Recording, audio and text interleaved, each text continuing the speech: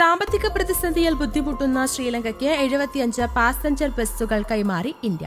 ശ്രീലങ്കയിലെ പൊതുഗതാഗത രംഗത്തെ അടിസ്ഥാന സൗകര്യങ്ങൾ വർദ്ധിപ്പിക്കാൻ ഇന്ത്യ പ്രഖ്യാപിച്ച വായ്പാ പദ്ധതിയുടെ ഭാഗമായാണ് ഇത്.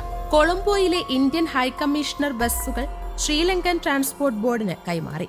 പദ്ധതി പ്രകാരം അഞ്ഞൂറ് ബസ്സുകളാണ് ഇന്ത്യ ശ്രീലങ്കയ്ക്ക് നൽകുക.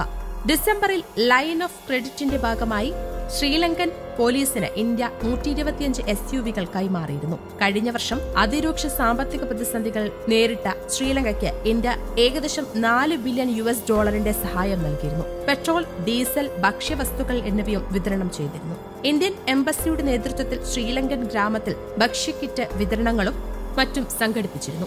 ഇത് ആദ്യമായല്ല ഇന്ത്യ ഒരു രാജ്യത്തിന് ഇത്തരത്തിൽ വാഹനങ്ങൾ നൽകുന്നത്. ശത്രു രാജ്യങ്ങളിൽ നിന്നുള്ള ഭീഷണി ചെറുക്കാൻ ചില അയൽ രാജ്യങ്ങളുമായി ഇന്ത്യ നല്ല ബന്ധം കാത്തുസൂക്ഷിക്കുന്നുണ്ട് ശ്രീലങ്ക നേപ്പാൾ തുടങ്ങിയ രാജ്യങ്ങളിൽ നയതന്ത്രപരമായും മറ്റ് പല രീതികളിലും സഹകരിച്ച് ബന്ധം ഊട്ടിയുറപ്പിക്കാൻ ഇന്ത്യ ശ്രമിക്കുന്നുണ്ട്. ഇതിന്റെ ഭാഗമായി ഇന്ത്യ ചെയ്ത ഒരു നടപടിയാണ് നേപ്പാളിന് ഇരുന്നൂറ് വാഹനങ്ങൾ സമ്മാനിച്ചത്.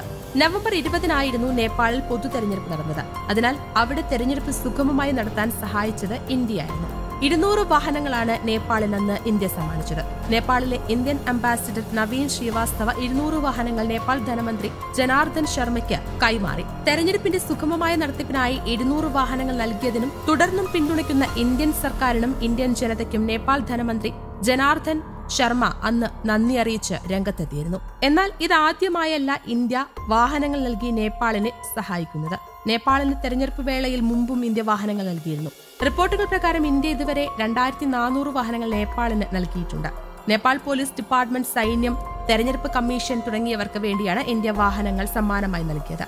വാഹനങ്ങൾ നൽകുന്നതിന് പുറമെ മറ്റ് പല വഴികളും ഇന്ത്യ നേപ്പാളിന് സഹായഹസ്തം നീട്ടിയിരുന്നു. ഒരു രാജ്യത്ത് പൊതു തെരഞ്ഞെടുപ്പ് നടത്തുന്നത് പൊതുവെ എളുപ്പമുള്ള കാര്യമല്ല. തെരഞ്ഞെടുപ്പിൽ ഉപയോഗിക്കുന്ന സാമഗ്രികൾ കൊണ്ടുപോകുന്നതിനും തെരഞ്ഞെടുപ്പ് ഉദ്യോഗസ്ഥരുടെ സുരക്ഷാ സേനയുടെയും യാത്രാ ആവശ്യങ്ങൾക്കും കൂടുതൽ വാഹനങ്ങൾ വേണ്ടിവരും. അതുകൊണ്ടായിരുന്നു അന്ന് നേപ്പാളിലെ തെരഞ്ഞെടുപ്പ് സമയത്ത് ഇന്ത്യ വാഹനങ്ങൾ സമ്മാനമായി നൽകിയത്.